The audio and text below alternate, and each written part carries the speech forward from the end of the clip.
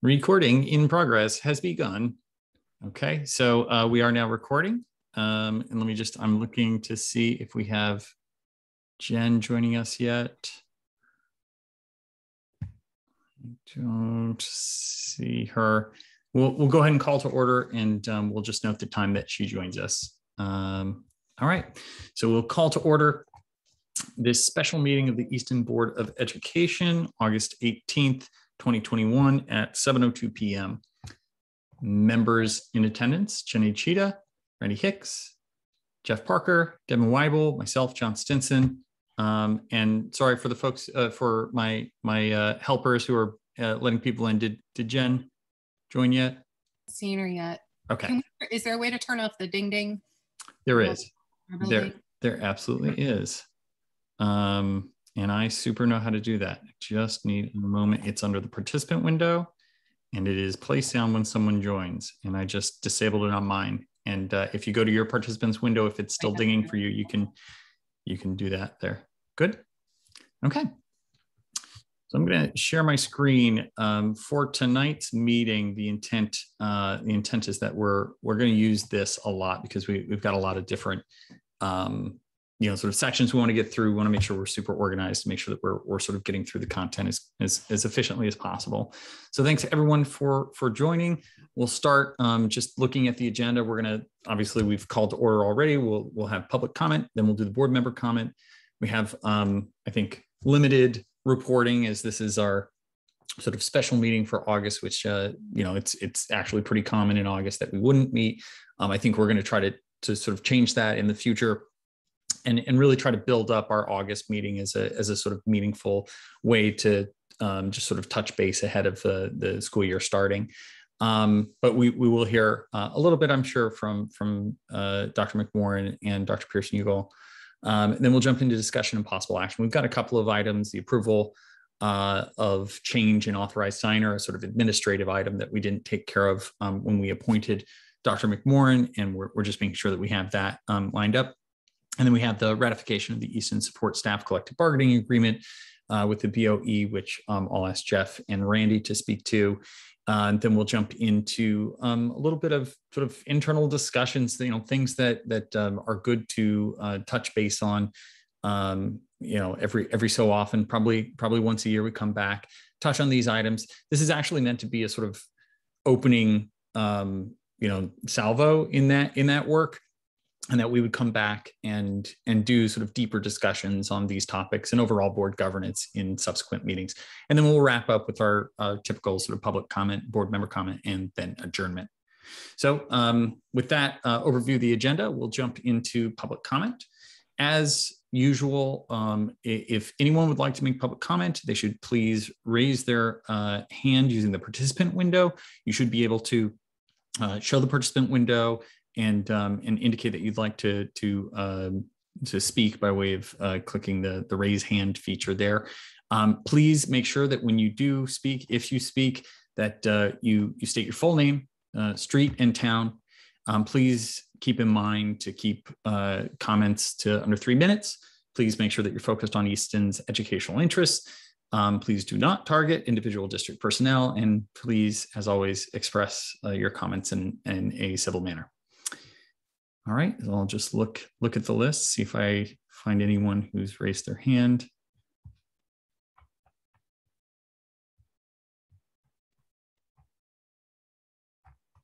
Very good. Seeing none, I'll move to board member comment. Any comments from members of the board? John, can we exit the screen now that we've gone through the yeah, and we're going to use it throughout. Um, so I'll, I'll, just sort of arrange this so that it's easier to see, and I'll, I'll just sort of stop the share and then restart it so we can yeah, come back to it. But I think that was maybe Jeff's line. Um, so we'll stop and then we'll go back and forth. So yes, Jenny. Well, yeah, I mean, as needed, I, I love seeing the agenda, you know, and the organization, but it definitely limits our ability to kind of be together as a group. What if the screen shares on for a a large amount of time. Sorry, just letting Lara in. Did anybody else have comment before I? I think Jeff Jeff had comment. I have I have one, but Jenny, go ahead. Um, welcome back, Dr. McMorran. Um, thanks for being with us for this period of time. Really glad to see you and I really appreciated all of the communication and I hope the community has too, um, all of the updates. I, you know, with without administrators here, I'm not sure how much of this we can talk about, but I'm sure uh, Tom and Stephanie, you can speak to it maybe later during um, administrative reports, but I'm definitely concerned about the year. I think not necessarily for the re same reasons that everybody else is. Um, you know, nothing we can do about the the masking mandate, obviously through September 30th, and and probably need to be prepared that that you know may be extended for for quite a while beyond that. Um, totally unknown at this point. But I'm just thinking back to things about last year that I was really relieved were not going to be extended beyond that. So I'm, I'm curious to know how some of the mitigation strategies are going to be in the elementary school in particular. Like I'm thinking about, you know, kindergarten last year where kids were in single rows, spaced out from other students, um, didn't share materials, only faced in one direction, didn't sit together uh, grouped at tables at all. They, you know, that whole socialization and play piece, um, especially of early childhood, that is so, so important to their learning, um, that really was kind of stripped you know, out of school last year in large part, you know, kids not going to the cafeteria, not moving about the building, seeing other students, you know, all of those things that are maybe small and subtle, but you know, a kindergartner seeing their brother or sister in the hallway on the way to the cafeteria, or just sort of an awareness of the older students in the building and kind of that succession up through the grades, you know, to everything from lining up, going to the art room, cleaning up your materials, coming back to class. You know, there's so many pieces of early childhood education that kids didn't experience last year. And I'm concerned about how it's affecting their um, some, not all students, but their their view and their the positivity towards school. Um, and also concerned about masks and how that affects uh, speech and language development, which directly impacts reading. So I just would like to maybe get sort of an update on where we are this year and how much of that is going to be the same as last year or if, if, if any other solutions or ideas or, or things are in place. Um, so sorry that was a little bit long, but that's definitely been on my mind. Um, oh, and I just wanted to mention there's an awful lot of consternation I hear in the community about lockers at the middle school. Um, so if maybe we could take a minute to talk about that tonight too, it might be helpful. Thank you. Good. Any other uh, board member comment? Yes, Jeff. Today, each board member received at 3.54 in the afternoon a review of our attorneys, um, which is Shipman and Goodwin, the statutory changes affecting students for the upcoming year. It's a 25-page document that I scanned before this meeting and didn't see any law or even any uh, direction surrounding our children wearing masks in school. I found this odd given the governor's executive order 13A, where he tells us that all students need to wear masks unless they have a medical reason, an IEP, or a 504 plan that specifically says that the child does not have to wear a mask in school. I realize this is not an agenda item and therefore uh, cannot be an item uh, up for discussion, but I think it would be in our collective best interest to seek a legal opinion from our attorneys at Shipman and Goodwin about the efficacy of the Executive Order 13A. I think it would benefit all of us and provide uh, greater clarity on this topic. Thank you. Thank you, Jeff. Any additional uh, board member comment? Yes, Randy. Um, just uh, Jen reminded me, frankly, um, schedules last year at the middle school changed a couple times. Um, just curious, I'm sure the parents will be curious what that schedule looks like starting in September. Thank you, Randy. Any additional board member comment? Okay. Move to uh, four administrative reports. Tom, Stephanie, anything you'd like to add, or or perhaps even just giving a an idea of you know sort of um, estimates for when we would likely hear about some of the some of the different items that Randy, Jeff, Jenny, um, and sir, I'm sure certain members of the community have have expressed an interest in hearing more information about. Uh, yes, let me let me start. Good evening. Uh, I am uh, I'm, I'm, you know, very pleased to be able to be back with you for a brief amount of time as you uh, determine who your new uh, permanent superintendent will be. Um, can I uh, start by just reminding the board that I'm a storyteller and I don't always talk in, in straight facts. I, I'm going to tell you a story and just so no one misunderstands me, the purpose of my story is to, is to reiterate how the good people in Easton uh, generally get along with each other and, uh, and you give each other a lot of room and, and you're good neighbors. Um, and the story I wanted to say is I have passed through the intersection of Sport Hill Road and Stepney literally hundreds of times. It's a, an intersection you all know. There's no traffic light there. There's no cop to say who goes first. And the way we get through that intersection is that everybody in the car takes their turn and signals each other. And, and often what you get into is the is the other person saying no you go first. No you go first. And somehow we all get through it. People don't go barreling through that intersection at 70 miles an hour and say to hell with everybody else. That is simply not the easton way. Uh, easton people are good neighbors and they uh, they they they gesticulate with each other when you're in the cars, and I, I think we can do this in other places also. Uh, this week, this Friday, I, I think the community can expect that the building administrators will be communicating with the uh, parents and guardians and families in their towns, uh, sharing more of the plans for uh, reopening the schools. Um, at the moment, uh, we are under the direction of the governor of Connecticut under Executive Order 13A. And I'm going to just come right out and tell you I'm not a lawyer. I'm not going to parse the language of the governor. Uh, the directives are that we begin the year with students wearing masks. I am highly sympathetic, highly sympathetic to people who are thinking about our youngest kids and the impact of those kids wearing masks. But the direction from the uh, governor of Connecticut in conjunction with the State Department of Education and the Department of Public Health and our own local uh, folks is that uh, people coming into the schools uh, are required to wear masks.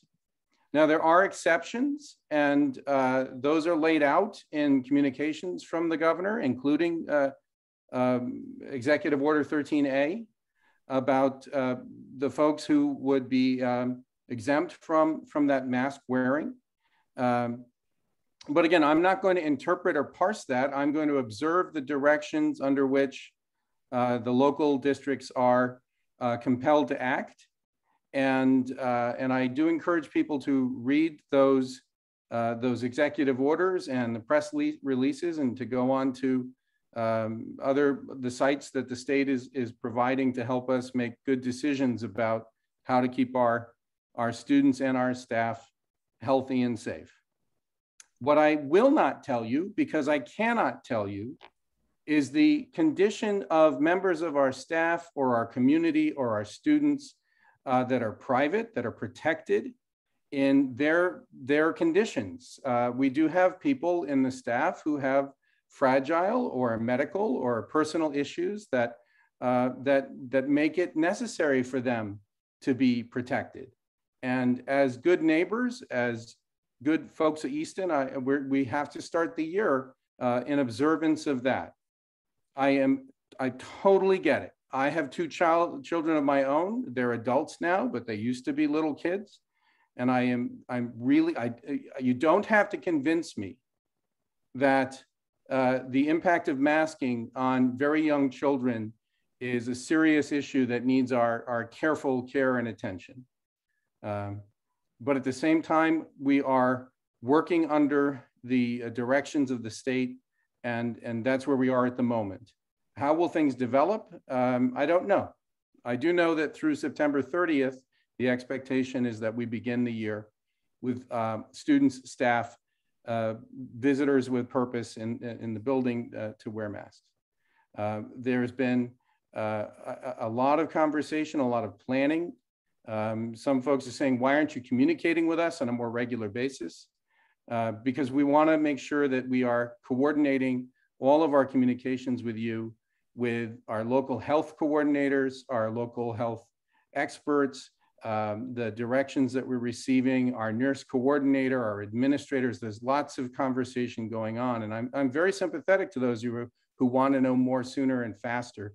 But we do want to make an effort to make sure that we are compliant and safe and, uh, and doing those things that are going to make sure that the, the boys and girls in this town and the people who work for them are, are cared for. Now, I'm joining this conversation just 20 days in and have spent a lot of my time trying to make sure that we have all of the teachers and paraprofessionals and administrators and support staff. So that's where my energy is going, is filling your staffing needs. And uh, Dr. Pearson Ugal has been here with you, as you know, and I'll, um, I'll turn over to her any, anything else she wants to say about our, our reopening. You will get communication from all of our building administrators starting this Friday and going forward. Thank you, John. Uh, Dr. Pearson, you go. Yeah, good evening, everyone. Well, I think that I can say uh, with complete sincerity that we all share in the desire to come back to a time when life at school felt a little bit more normal. There are going to be many things this year that feel more familiar. And I'm very pleased to share that the schedules will look much more typical. So Helen Keller will really revert back to its regular schedule. Um, and at Samuel Staples, there will be a number of things in place that will feel more typical. So that will include students will be able to go to their special area classes as opposed to having people push in. There will be um, more regular movement through the hallways. The distancing uh, in the classrooms will be um, less restrictive than it was last year. Yes, you've already heard about the masks, but we are trying to balance the uh, mitigation strategies with some of the experiences that we know that we hold so dear. So that will include uh, reinstating some after school activities, clubs when that's available, extracurriculars, um, inviting volunteers into our buildings once again, as long as they are not gathering in large groups. So we are really trying so hard to balance the health and safety of our students, our staff, and our families with the very important need to have a focus on our core, on the academics of taking care of one another and uh, growing our children in the best way that we can. So, as Dr. McMorran said, you will receive a lot more detail on Friday from the building administrators. Um, and some of that I hope will be a, will be pleasant news, things that are coming back, things that we're familiar um, with some additional information. The buses will continue to include assigned seating, windows open to increase ventilation, you know, a number of number of mitigation strategies to just ensure health and safety. But again, hoping that we can um, begin the year with, with great optimism and a refocus on uh, who we are as a district. Thank you. Any questions from the board for Dr. McMorran or Dr. Pearson Ugal?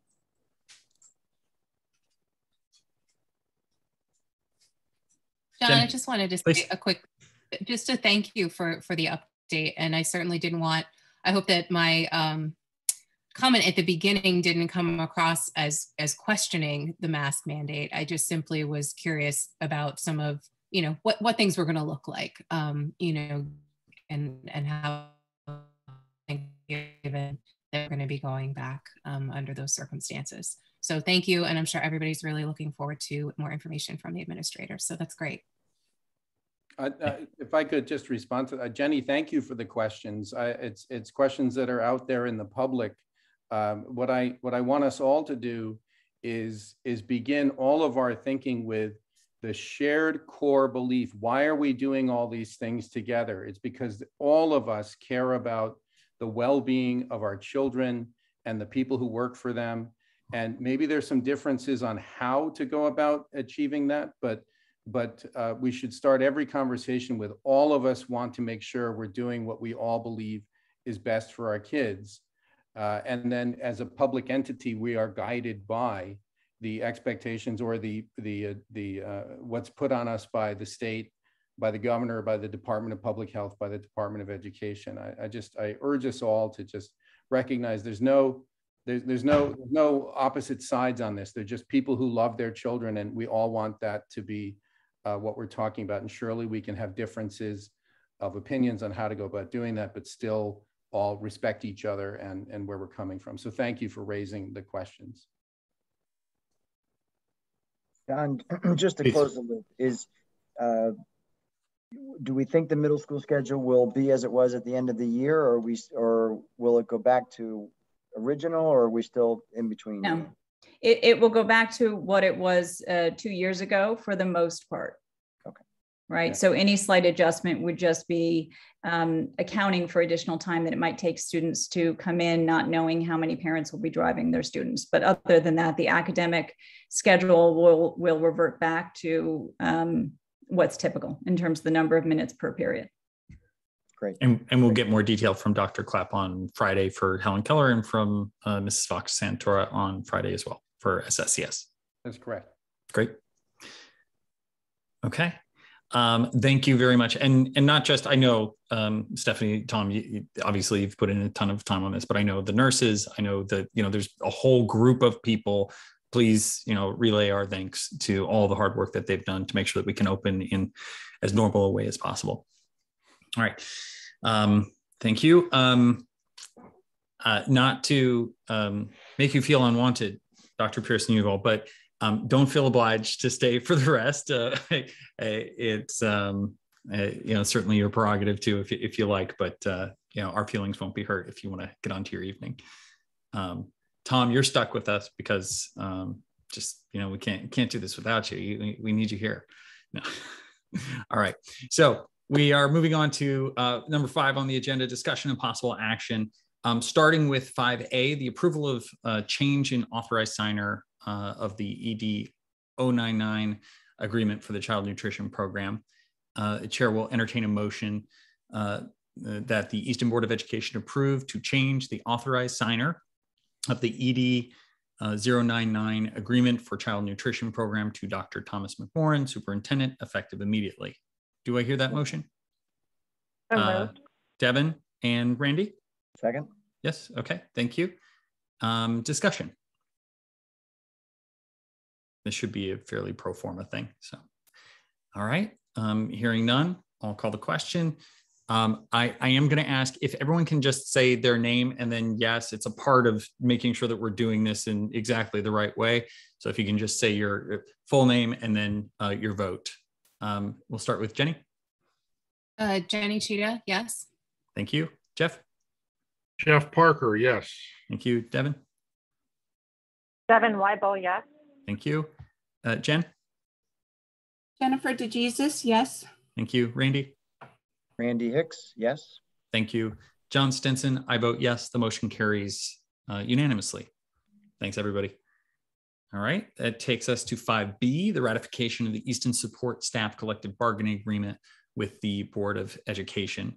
I'll um, see if we can get the motion uh, moved and seconded, and then I, I, would expect that Jeff and Randy, you'd want to give some context. So we'll look for a motion uh, that the Easton Board of Education accept the recommendation of the negotiating committee and ratify the Easton Support Staff Collective Bargaining Agreement. Do I hear that motion? So moved.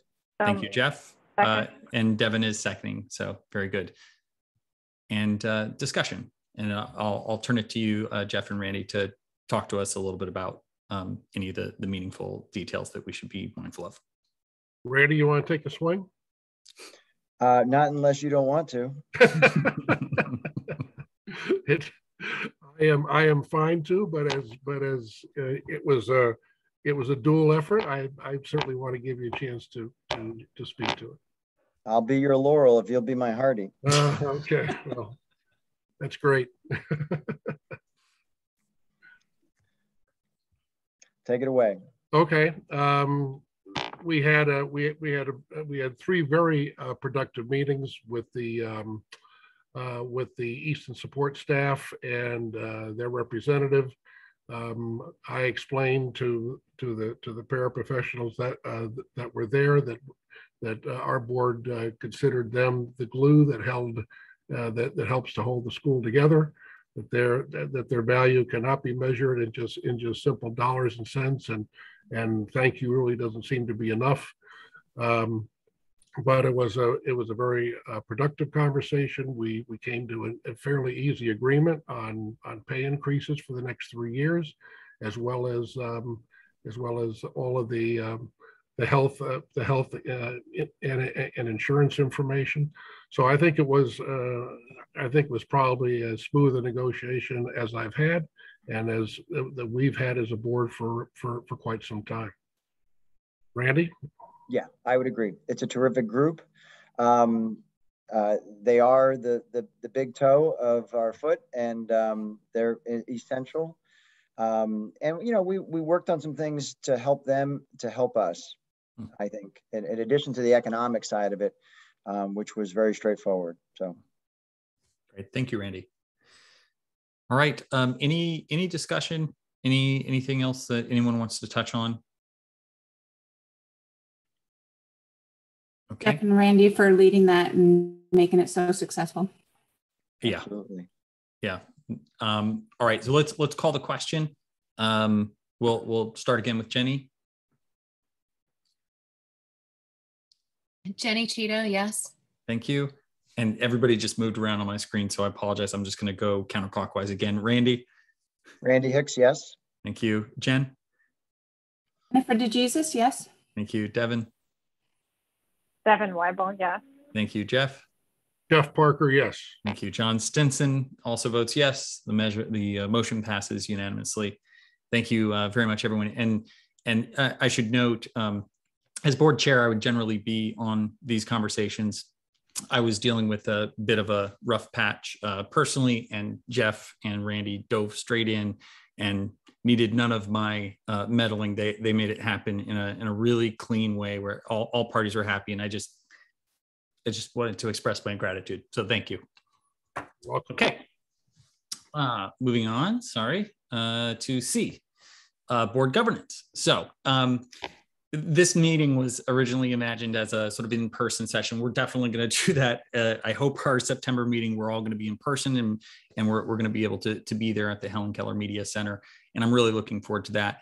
Um, the, you know, sort of when we, when we think about um, what's generally known as a board retreat, it tends to be something that's happening on a on a on a weekend. Uh, it tends to be a, a, like a four hour meeting. It's ten. It tends to be much more casual. Members of the public, as all all of our meetings, except for very special circumstances, are able to join. But generally, it's hey, we're just talking about you know board operations and things like that. You don't generally get people um, from the public showing up.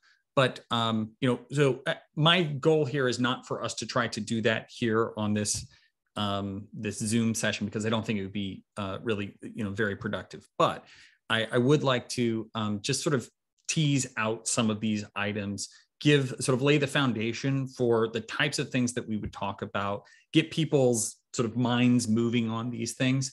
And then I hope that we'll be able to find either an evening or a weekend sometime in the next couple of months where we can actually do this this kind of work together and, and have really frank and open conversations with each other. And you know people can can point at me and say you know you stink at this. And i can say you're right i do and i'll try to do better.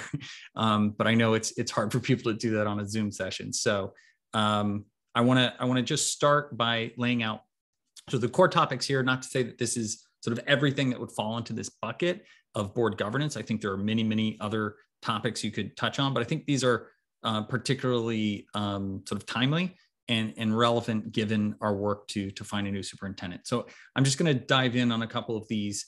And you'll notice the first two are actually, these are straight from our bylaws. So um, bylaw 90 uh, or policy 9040, um, it, it's essentially eight um, items that starts with, and it's all about the board's responsibilities. This is where our policy actually dictates here's what the board's responsibilities are. And you know, it goes from simple things like connecting with the community and making sure that we're faithfully representing the the um, sort of needs of our community to identifying educational needs and aspirations of the community and then translating that into leadership that helps us to connect with central office and, and to help drive what we're you know what what we're actually trying to do what our vision is uh, for the district. To employ this is actually one of our core uh, responsibilities laid out here to employ a capable superintendent. And uh, i know we're all very um, very focused on that work right now. Um, to formulate policies um, policy is a, a major refrain um, as we look through whether it's bylaws or we look through the statutory requirements um, from the state about what a board of education is meant to do it, it's probably the the sort of most prevalent item that people will uh, that that's mentioned in in the laws that a board of education is charged with and that it that is uh, formulating policy um, and then you know sort of the, the, governance of making sure that it's being carried out um, properly by way of the communication with the superintendent um, developing data and uh, to plan, and evaluate, and organize our work. Um, and then to make sure that all of the, the ways in which we operate are in, in conformity with state, uh, local, and, and federal law. And, um, and then to evaluate our performance and to, to sort of be honest and reflective, introspective about how well we're doing at these things as we think about the the sort of second item that is the sort of operations um, the operation side of things um, this is another uh, bylaw and it's 9300 and, and this bylaw basically says the board doesn't have a role to play in day-to-day operations. Um, in fact it is the superintendent um, who who's sort of charged with that. So the board of education shall concern itself only with the broad questions of policy and not with administrative details the board shall rely upon the superintendent of schools to recommend policies for adoption and to administer policies enacted by the board. Such policies shall be broad enough to indicate a line of action to be taken by the superintendent in a meeting, uh, in meeting a number of problems and jobs. Applications, uh, application of such policies to individual problems and jobs is an administrative function to be performed by the superintendent.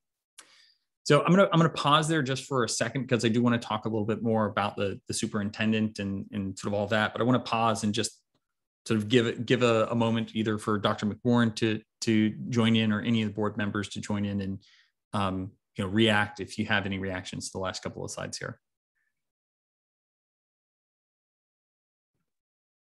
We it seems seems clear and sort of we have a sense. Yes, Devin.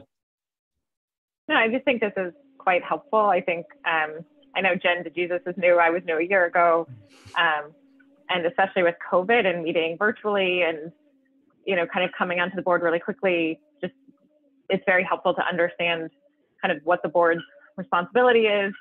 And then when it shifts over to the superintendent, the central office, and the schools. So I appreciate the reminder.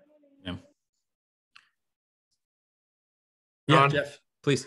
Um, can you flip back to the first one? Absolutely.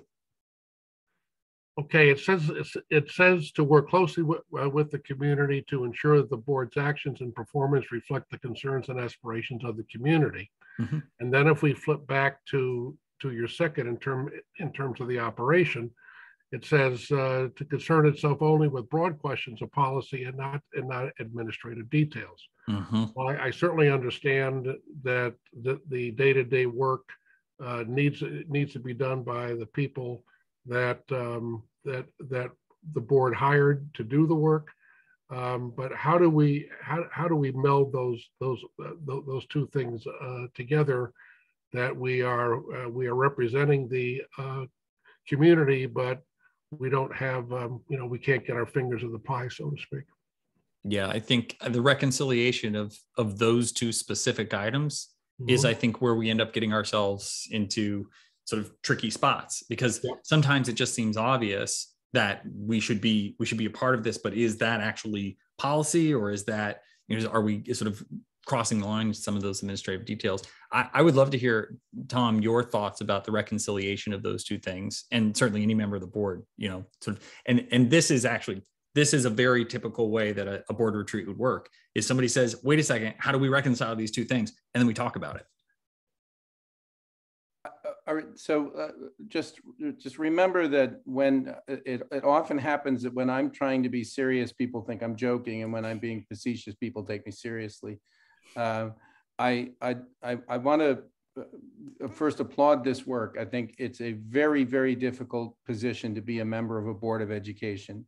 No other uh, uh, public service voluntary duty takes as much time or or has as much emotions in it because we're talking about um, other people's money and other people's children, and I I never forget that. Um, and uh, the the not facetious part is you've you've all heard me tell you that I'm not a superintendent. I'm a mediocre intendant because I never stopped being a classroom English teacher.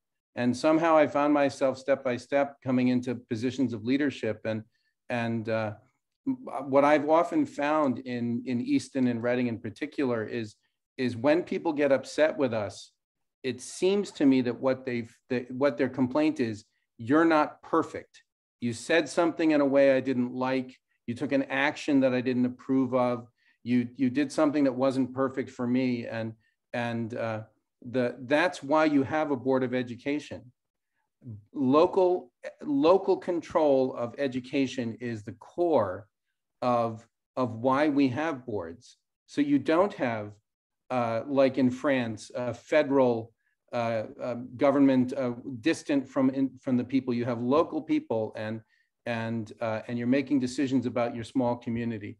It's a virtue in Easton to be a small town and I, I think we often find ourselves adopting um, uh, positions that assume that we have 100,000 citizens and 40,000 kids when we're really a small town. And, and I do encourage people just to call each other, that, that to, to talk neighbor to neighbor, that, that to, to, to, uh, to stop in at Greiser's or, or the deli and, and, and, and speak with each other. The, the, the mission of, of the board is to advocate for the, for the well-being of all kids, regardless of all of the ways that people are divided. It's your job to be the advocates for the boys and girls, the children in, in the town.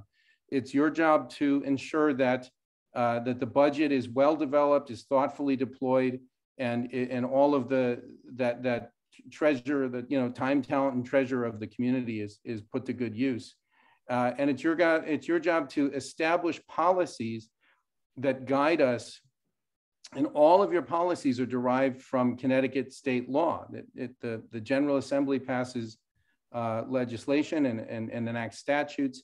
That gets translated into policy, and the policy should guide us. So I, I compliment and really think you're doing good work in saying, let's get our policies aligned and up to date so that when we have disputes, we can, we can go to the policy. How should we approach these things? Um, in, the, uh, in, in my office, um, I have a copy of, of Tom Mooney's uh, Practical Guide to Connecticut School Law. It's in its ninth edition. It's almost 600 pages long. It's very first, practical. the it first sure is. It sure is. Uh, and Tom Mooney is still a practicing lawyer in uh, in Connecticut.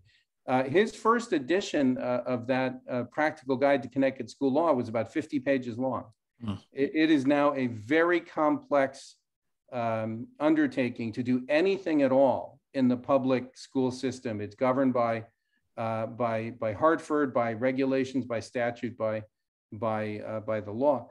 Um, so uh, I think what ha happens in, in a small town such as ours, and I don't say this is bad, I think it's a virtue, is that the members of the board are people that people know it's not like your Miami-Dade County or Baltimore County, which has hundreds of thousands of kids.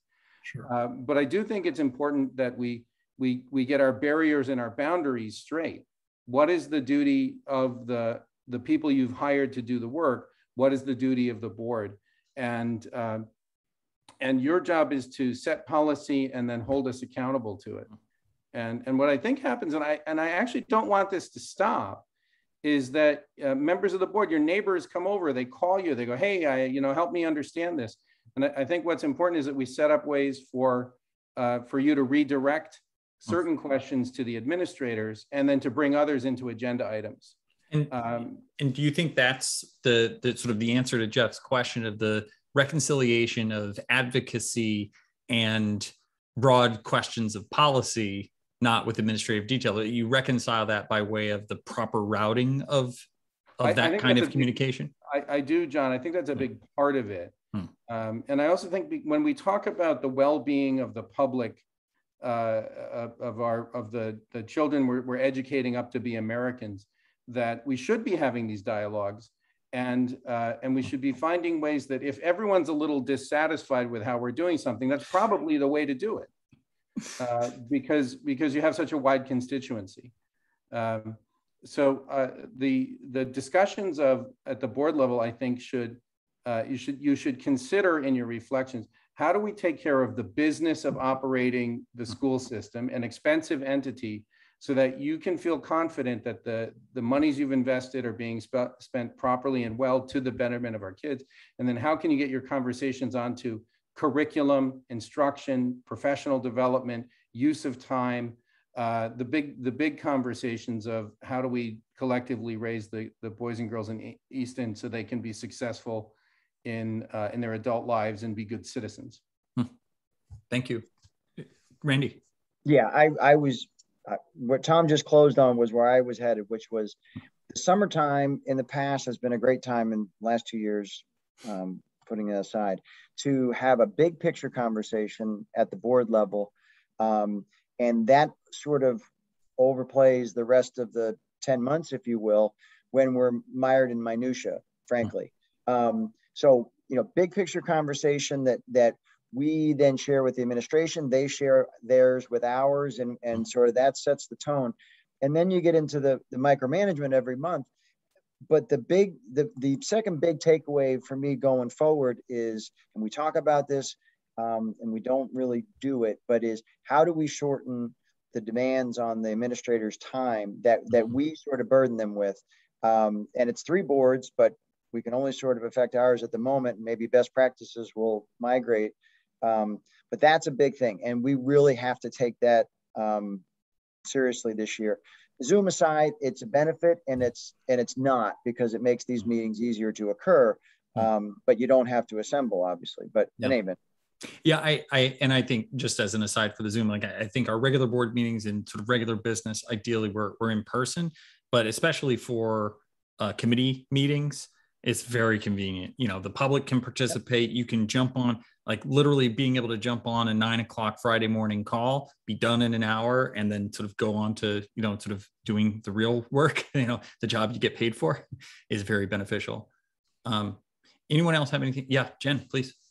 Um, just to follow on to what Randy's saying, I fully agree with what Randy says. We need to take away value add requests and I don't have enough longevity on the board to know, but my suggestion would be is to reach out to those administrators and say, can you give us some examples of requests in the past that have been burdensome, time consuming, taking away from your everyday responsibilities? So when we come to have that conversation, we have some examples and input from the administration, and we're not just making those decisions about what they feel is might be overly burdensome. Yeah, and, and Jen, I think that's really interesting because I, I I started as soon as Tom you know sort of started talking about the the routing of things i started thinking of a flow chart and and i and and if we had the sort of the master flow chart that would help us to understand like hey anything that comes in like this that's got to go first to the teacher then to the school leader then possibly to you know to central office and anything in this bucket the, you know these are the things that are appropriate to send to the, the, the board chair or these you know like like really really figuring out what is the the the, the correct flow of the or, or routing of those requests.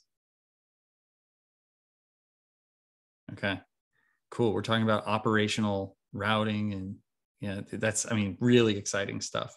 So all right. Um all right. So so and, and sort of along those lines sort of the, the, the topic of connectivity with district employees you know this, this gets really um, sort of tricky very very quickly when we sort of start going to building leaders or start going to you know this teacher or that teacher. And so uh, what i wanted to to think about and and you know i don't know how much how deep we want to go into it today but is you know the degree to which if we think about the superintendent's um, expectations and you know if if the superintendent is meeting these expectations then like it's it's my concept i'm just gonna so this is the the superintendent evaluation that that is sort of we we sort of all agreed on amongst the three boards um, earlier sort of this year and i think it's something that we intend to use with the superintendent it's something that the the uh, board members will be going through and, and, sort of reviewing. And this is the these are the core uh, areas, right? So develops and implements vision that inspires action and commitment, develops and implements a district leadership theory of action, et cetera, et cetera, et cetera. And we, I think you, you know, everyone, all the board members have seen this and we've talked about it multiple times. Um, but, you know, as we look at each one of these things and understand the degree to which success equals that they're, they're scoring high on each one of these categories, I think, you know, communication is oftentimes one of the issues, you know, the, we didn't know. And so we asked a question and then we went to the the the uh, the building leader. We and we're kind of breaking ranks because we we we sort of didn't know the the sort of file we should be in or didn't have that the sort of the information that we were sort of urgently looking to get. So um, i don't you know i don't expect that anybody is um, you know has a, a prepared statement to reply on this stuff but but if anyone wants to touch on this feel free okay all right. And then, um, John, I'm sorry, yeah, John. Can I sure. just, I, I, I, I often feel um, a conflict in uh, people who reach out to me in, in, in my position as superintendent, and they they get frustrated that they don't get a time what they consider to be a timely response. Mm. And and uh, you know, if you think of a superintendent's day, the workday is about 11 hours long. Um, there's there's time you put in on the weekend and then the evening meetings. Um, but in our unique structure, two elementary schools, two middle school, and a high school, if we were, I, am not advocating for this. I have no position on if you have one district or three. Um, if we were a unified district, then uh, the superintendent would simply have more time to be responsive to, uh, to members of the community. Uh, because in any four weeks, uh, you're preparing for a board meeting on Tuesday night, uh, and then you're planning the following Tuesday to be a different board meeting. And then the Tuesday after that is another board meeting. Uh, so uh, part of your time budget is, is simply diminished compared to, um, say, Brookfield or somewhere where, where, where the governance structure is, is not as, as large. I'm not saying you need to adopt a single board. I think you, you know, there, there are reasons why that's difficult to do. Uh, but um, it does mean that uh, that being able to execute these competencies is uh, is constrained in some ways, mm. and uh, I, I think uh, each of the three boards deserves full, vigorous support from the office of the superintendent and assistant superintendent. Uh, but there are time um, time implications in serving three separate districts. Um, uh, some of them is simply as easy as we have we have to report to the state the ED 0166 uh, um, audit of our of our um, of our finances, and uh, that's three separate reports.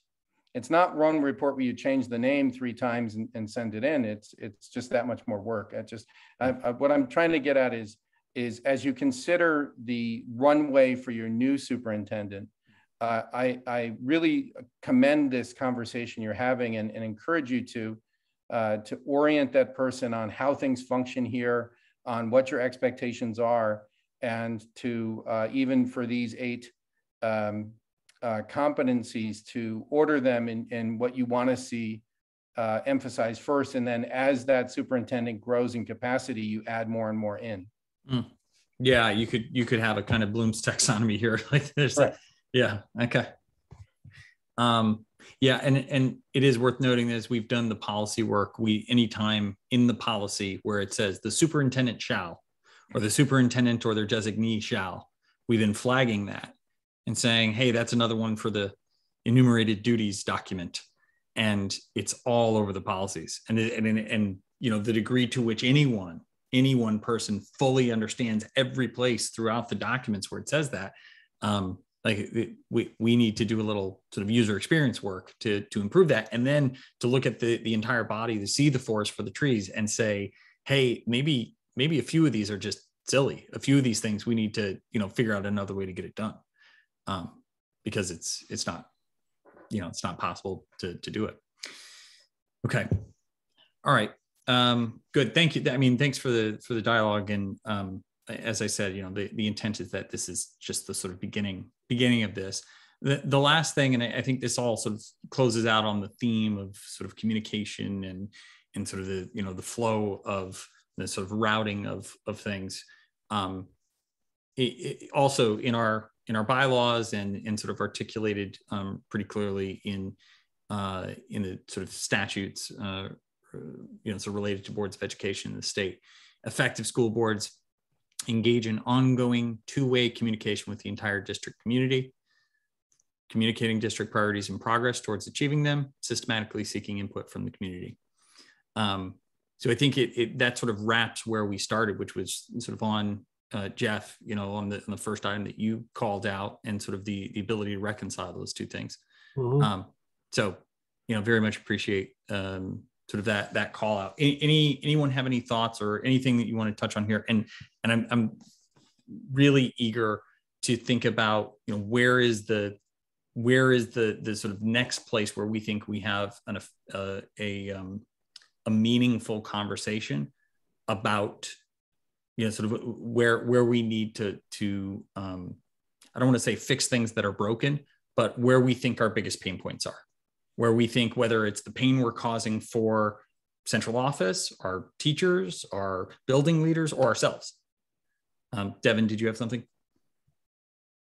Yeah, I will say, I think a lot, and we've had this conversation many times, I think at this board, and I've heard it from folks in the community, is our websites are just so challenging to navigate. Yeah. Um, finding board minutes, finding um, when board meetings are, if folks don't know to sign up for the alert from the town, they don't get notices. Yep. And so, and just like things are outdated, policy, you know, you click on to find a school list and it's really hard to find. So I think a lot of our challenges, and I think we have a great person. I'm so excited about Sarah Scarfani. I met her um, on Friday. She's mm-hmm. just, you know, uh, exudes energy and enthusiasm, and I think will bring a lot to our community and district. Um, but just thinking really strategic about communication because I do think that creates a lot of angst when people can't find answers, and unfortunately, right. sometimes they assume the worst, right? And so, right, we, um, we've had Freedom of Information yeah. Act requests because people have said you don't, you know, you don't have this or you haven't posted this, and then I've gone and found it. You know, if it's a committee that was once set up under Region 9 and now it's a joint committee of all three boards, it's like, oh, you got to go to their website and then click down here. And it I completely agree. If if we could overhaul the websites, uh, it could make a huge difference to making sure that the community understands sort of the work, the good work that's going on already. Um, yeah, Jeff, please. I I think there's also an issue as it relates to social social media yeah. and our participation in that, and um, especially if we uh, if we uh, present ourselves as uh, board members in those uh, in those discussions. I think it I think it could lead to a lot of misunderstanding. I know we have a policy uh, on that topic so that if you are if you if you go online and and you're and you're a big and you're a big dog who, who's angry at something. But um, but seamless if, metaphor and but yes, if you you know if you go on as as as citizen Jeff Jeff Parker, that is one thing. But if you go on as citizen as as as board member Jeff Parker, that right. is an entirely different circumstance. Yep. Yeah, agreed. Um, yeah, and and if if there's anything, um, I mean, honestly, if if I'm doing anything, I hope that any anyone will throw a flag because I'm certainly I certainly don't mean to do that if I am, and um, you know I would hope we can all be open and um, sort of honest with each other and just say, hey, I think maybe this thing was out of bounds, and you know I, I don't think anybody is is uh, you know intentionally uh, crossing the line. Um, okay. Good. Any anybody else have anything? Uh, I think those those are by the way two fabulous pain points to focus on and, and think about how we can uh, help uh, make those, you know, make that a priority. Um, any, any, anything else that we want to make sure that we bring into the conversation for, for next round? Okay. All right. Well, then we will uh, move on to uh, agenda item six, which is uh, our closing uh, public comment. Again, um, if members of the uh, public uh, would like to make comment, um, please raise your hand using, I see Patrick has raised his hand, uh, using the um, raise hand function in the participants window. Um, and we'll just give everyone a moment uh, to raise their hand. And uh, Patrick, you should be able to unmute. Can you hear me? We can. Okay. Uh, is my is my camera going to go on? We can if you if you if you'd like. Oh, it's okay. We'll leave it off. Okay. All right. Yeah, I know the audio can get choppy there, but you can hear me okay? We can hear you just fine. Okay. If you Uh, could just thank say your full name, street, and town. Yes, uh, my full name is Patrick Duplessis, D U P L E S S I S. I live at uh, 11 Tersana Drive in Easton. Uh, this is my first meeting. I've lived in town for a total of 12 days. I've gotten to know some of you already. um, so I thought I had two minutes, but apparently I, get, I have three minutes. Um, so I raised my hand because uh, I was somewhat uh, shocked to see that the agenda for this meeting had no mention of the topics raised in uh, the superintendent's August 13th email about the reopening plan and mask mandates. Um, I, I, think the issues in that email are in, especially the issue of, of mask mandates in the elementary school classrooms are by far the most important issues facing this school district. And they really need urgent discussion with parents.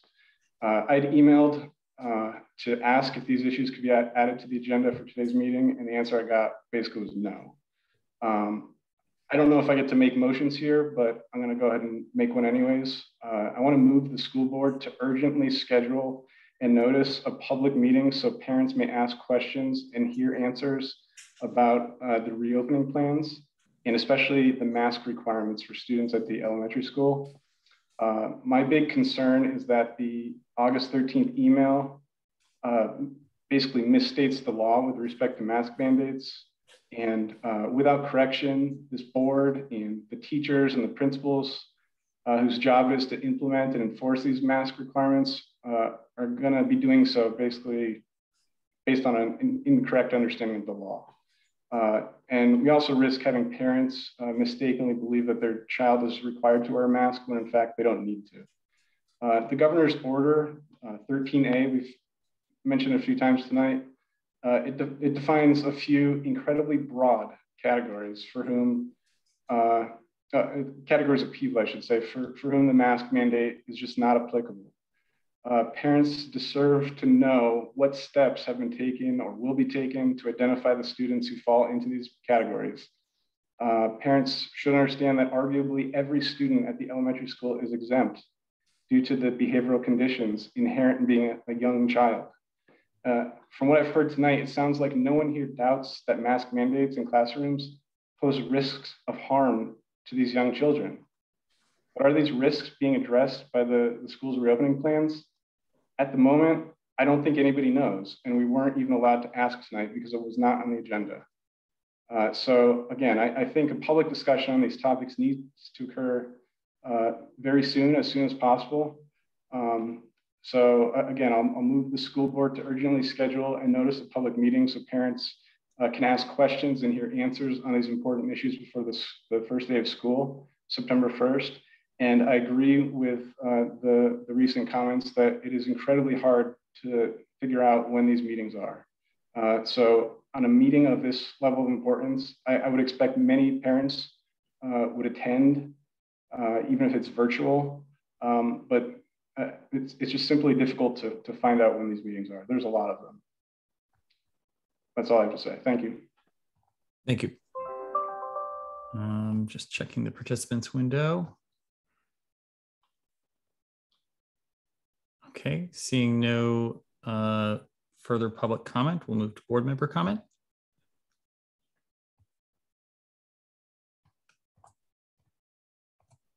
Uh, Devin. So first, I just want to thank um, Dr. McMorran and Dr. Pearson-Ugal for what I have found to be very um, clear and um, helpful information as a parent, as a board member about kind of the evolving state of dealing with a pandemic that unfortunately has changed and has changed the way that I think educators and have had to respond and to keep our kids safe um, physically, socially, emotionally. So I really do appreciate um, the communication, knowing that um, in, in Connecticut in particular, you guys were waiting for kind of the Department of Health and the governor to put out new guidance before you got ahead of that. So, so thank you for the timely, um, the timely manner in which you put out that information. Um, I just want to be, you know, careful. I think one of the reasons we haven't discussed mask mandates is it's not up to this board to make that decision, um, and it and it's something that I think people have really passionate feelings about. And so putting it to discussion in this board could give people a false hope that this board is going to make a decision on that when it's right now up to the governor and up to um, the state, and they are following, you know, CDC and American Academy of Pediatrics guidelines. Um, and so, you know, again, I, I, I don't think anybody, at least on, on my side, is intentionally trying, and I know the folks on this board and respect them greatly, um, that no one is trying to not talk about something. It's just we it doesn't we don't have a say in this because it's something that is um, given to us by the state, um, and the state is doing their best to follow health guidelines to keep our children safe. So thank you, John. Thank you, Devin. Any additional board member comment? John, I just I'll make a quick one in, in deference to uh, Mr. Duplessis' comments you know, uh, the, the board is always open to receive emails. These meetings are a challenging spot to have a dialogue with the community. It's near impossible. Um, don't go away frustrated. Um, I sat in your shoes, you know, 10, 15 years ago when I first started going to these and uh, I left most meetings scratching my head. So, um, the, but the, the, the email exchanges with board members, the dialogue can occur um, so I encourage every all the public to do that, and many of them do. Uh, you know, Patrick's new to town, so uh, we invite him. All the board members invite him to have a dialogue. You know, after these meetings. So, thank you, Randy. Any additional uh, board member comments?